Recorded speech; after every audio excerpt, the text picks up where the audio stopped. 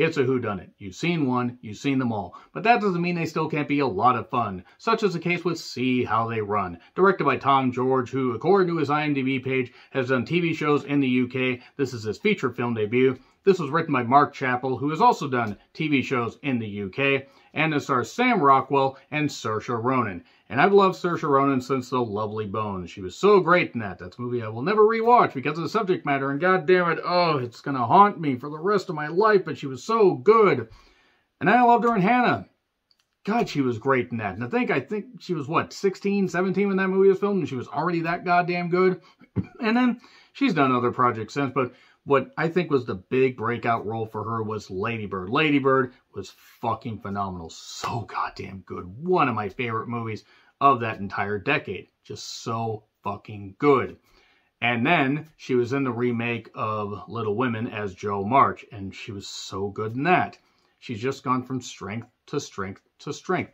Ammonite, which I'm pretty certain I probably butchered the name of that, but her and Kate Winslet, they were great in that. Sure, there's another reason why I watched that movie, but it was also well performed. Let's just move on. I've loved Saoirse Ronan in a lot of movies, is the point. So when I saw she was in this, I'm like, okay, I'm fucking in. I think she's great. And Sam Rockwell has been great in a lot of stuff. And there were other cast members that have been in some other good things. Anya Marson, Tim Key, who plays the commissioner. Now, Commissioner Gordon. Adrien Brody, yes, the man who was the pianist. I took in the pianist. It was long and satisfying. And if yeah, that's a long-running gag, maybe the wrong last word to use there, from my time at the theater, working at the local theater in town, not the stage theater. More on the stage theater in a bit. um, Jacob Fortune Lloyd, and then uh, Sian Clifford. There's also the character of um, Mervyn that I'm not going to... David, and I'm not going to attempt to pronounce his last name. It's O something. Look it up. You probably can figure out why I can't pronounce it. Reece Shearsmith, Ruth Wilson, and Harris Dickinson. Um, or he just a lot of great performances in this, a lot of great cast members, and just a lot of yeah, you play around with a little bit of history, you can tweak things around, but when you have this kind of cast, especially again Sam Rockwell and Saoirse fucking Ronan, I can't tell you how long it took me to realize that's how you say her name. It's a very strange way to say her name because you look at that, you don't it just I, it still doesn't compute. Nevertheless, she's a tremendous actress. So in this, it's set in the West End of London in the early 1950s, and there's a uh, play version of Agatha Christie's The Mousetrap. and even Richard Attenborough's in this. That's where Harris comes in. And they're having a tremendous goddamn run where a film adaptation is going to come up. That's like it's a hundred straight performances. There's a there's a film adaptation on on the horizon. Reece, Shearsmith, he's uh, going to be you know the guy financing the goddamn thing. And then suddenly there is a death with somebody related to this particular production. And then a murder mystery is launched where they play on the film noir aspect and the drama aspect and the playwright, you know, uh, you know, just underbelly.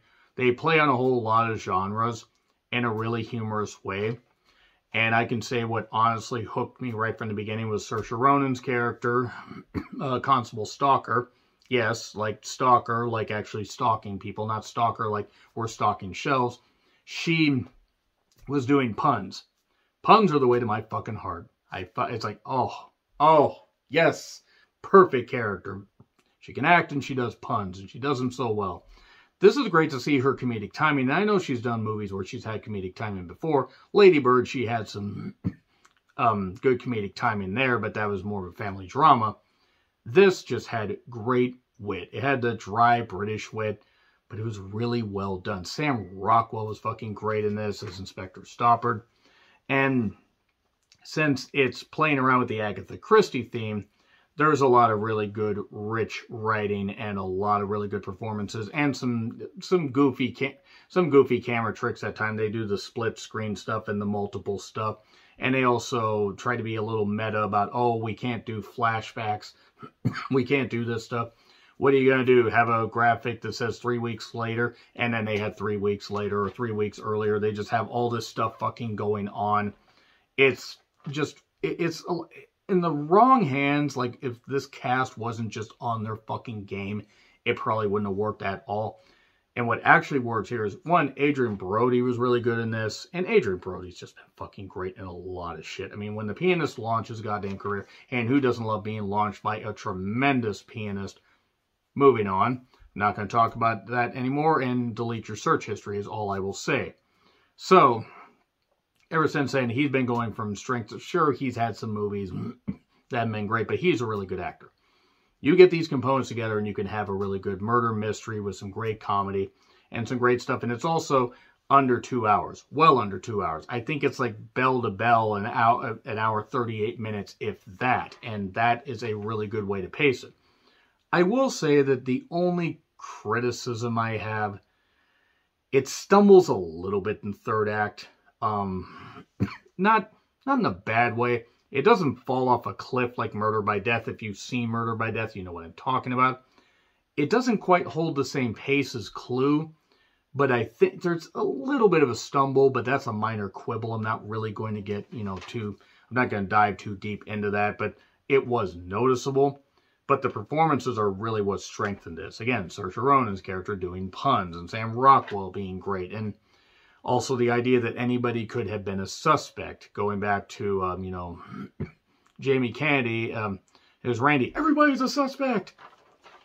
But also the stage, um, the way they do the, you know, play into the stage play, and they fact and they bring things from that into the real world, where Rob Thomas wishes it would just stop hassling him. If you're a Matchbox 20 fan, you're dying laughing in the comments. The whole point is, is this movie do, it balances a lot of uh, great things, a lot of genres, and a lot of really good performances, and manages to meld them together. And yeah, the conclusion actually is kind of fitting, and it's a really good dry wit comedy that also, again, has Saoirse fucking Ronan in it. I mean, how can I not fucking like it? I haven't seen every single movie she's in, but I've seen more than enough to just absolutely love and adore what she does. And she's great. Just so many great performances. A lot of a really good balance. 90% of the movie is really fucking good. And even the 10% that wasn't all that great isn't bad. It just doesn't measure up to the remaining 90% that was at the worst decent and then at and at its best fucking phenomenal. And that's what a lot of this movie is, is fucking phenomenal. Great balance, great character work, and great humor really can't ask for anything more. I could also see this movie totally dying in theaters. I could see this movie not working well. But I could see this movie having a great second life on streaming. and I think that's where this movie will probably end up making its, you know, the bulk of its money. Which even with the cast, I can't imagine this movie costs more than 30 million. And even then, that might be stretching it. Beautiful locations, great scenery, great time period and the conclusion was fine, and it it put enough twists and turns in there where even though you thought it was going one way, it goes this way. It does it well enough to where you don't get bored. Again, it's just that little stumble in the third act that I think takes it away from being an absolute perfect movie, or at least as close to perfect as a film noir comedy making fun of all this stuff can be. But it's definitely one of the best, uh, one of the most entertaining I've seen this year, and that's all I gotta say. So I am to get into spoilers. It is in theaters, so check it out because I have a feeling it's probably going to leave within a few weeks. Probably be on streaming soon. So let's get into spoilers. Three, two, one. I can't even count with my hands. Spoilers. Okay, so spoilers. Hi.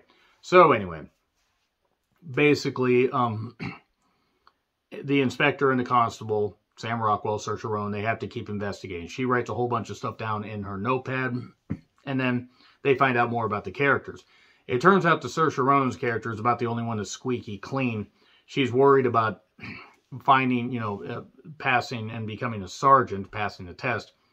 But they're trying to figure out who got murdered. Who got murdered? Adrien Brody's character got murdered. Why? He's a lecherous creep and nobody really missed him. He tried to um, get with a woman who was married, and then he ended up getting killed. Oh my God, he got killed. And there was this narration by him. And then he's like, I should have suspected this because as he said a little bit before he got killed, the uh, biggest, you know, piece of shit, like the guy that nobody's really going to miss, the scumbag, gets killed. And then we have to find out who the hell killed him. well, the subplot comes up that Sam Rockwell had a um, had a wife that basically confessed at eight months pregnant that it wasn't his kid, and they divorced. And then it turns out that maybe Adrien Brody's character may have been the father of the kid, so maybe Sam Rockwell had a motivation to do that. Maybe this one guy, Mervyn, had a motivation to do that because him and Adrien Brody were arguing about this particular screenplay for the adaptation of The Mousetrap. And maybe the producer, played by uh, Reece Shearsmith, maybe he had a reason because it turned out he was actually gay or had a gay affair with um, Adrien Brody's character. Everybody just was either with Adrien Brody or staying over Adrien Brody ready to bash his head in. Also, he got in a fight with a waiter. so, uh-oh, there's something a little bit wrong there. Why would you get, well, he, he actually got in a fight with the guy whose wife he was flirting with. But then there's the waiter. The waiter, the usher. What the hell's going on with the usher? because the usher was just there in the background. Nobody would suspect the usher. Well, gee, I wonder who the fuck it actually was. Who could it have been? Well, obviously, if it's the usher, I gotta be telling you it's the usher. But why would it be the usher? Because it's not Sam Rockwell. Because Sam Rockwell didn't do that. That'd be too goddamn obvious. Be too much of a red herring. Um, with a herring. So it's not him. Why would it be the usher, though? It turns out there was this little bit of newspaper, you know, a couple newspaper articles about two orphan boys. One that wasn't taken care of very well and ended up dying through a variety of things, you know, through a variety of, you know, neglectful things. Turns out the mousetrap was based on this, and the brother didn't like seeing that particular tragedy played out and the pain being mocked. Since he was an usher, he had to witness that whole thing time after time after time after time after time. And he finally snapped. He forged a whole bunch of cards, got a whole bunch of people at the house, um, and tried to get uh, whose house was this? Agatha Christie's house. He tried to take down the playwright, take down the author. He says, I'm going to go straight to the goddamn source. And then Agatha Christie um, gets captured, oh, except she doesn't get captured. Actually, is Reece Shearsmith's um, um, soon-to-be ex-wife because he's flirting with his uh, assistant and going to marry his assistant, even though he had a gay affair with Adrien Brody. I'm not here to kink shame at all, but hmm, guy doesn't seem that trustworthy. But this usher, he's just there and he's all upset. And then they have this long discussion where he's sitting down, he's got his rifle thing there, and he's all, he's just all upset, all distraught. Before I get to the end though, got to go back to when Adrien Brody was pitching his own storyboard ideas about a face-off between the cop and the criminal. The cop fires once, hits a guy in the gut, hits a guy in the knee, but then his gun jams. And the the villain gets the, uh, gets the rifle and is going to shoot him. And then the cop's partner jumps in the way to get to take the bullet. So, now that that's going on, it turns out that the person that he had wrapped in the rug wasn't actually Agatha Christie, it was Reece Shearsmith's soon-to-be ex-wife. Agatha Christie comes up with a way to rat poison one of the teacups and give it to this usher. Well, the usher ends up um, well, the usher ends up not getting the uh, thing because it gets spun around, even though she should have marked the cup a little bit better, might have given it away. And the butler that answered the door ends up dying. And then the usher's all freaking out. and then somebody comes up with this idea, hey, I need a light. I'm going to light a Molotov cocktail, and then we're going to do this, and we're going to scare the usher. And then Sam Rockwell um, and Saoirse Ronan, they were driving through the snow in separate cars he manages to shoot him once and then shoot him in the knee, but then his gun jams, just like Adrien Brody's character said.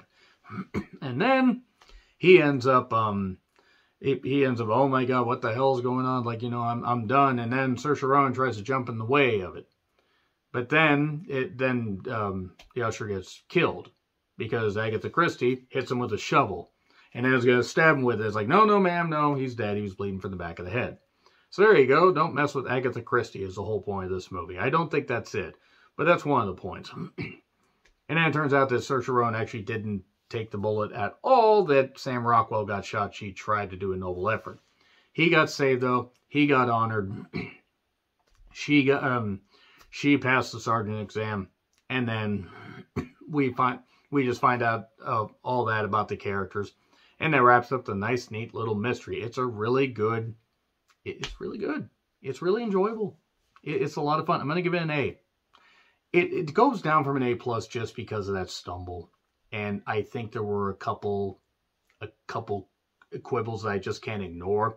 I'm giving it an A though because it's uh, it goes from strength to strength to strength. And it is one of my favorite films of the year, but it's probably going to miss out on the top 15. That being said, it's been a hell of a year. So that's all I got to say about that. Let me know your thoughts in the comments. Like, share, subscribe, Twitter handle in the description. I'm Jonn Ritland. I'll see you soon.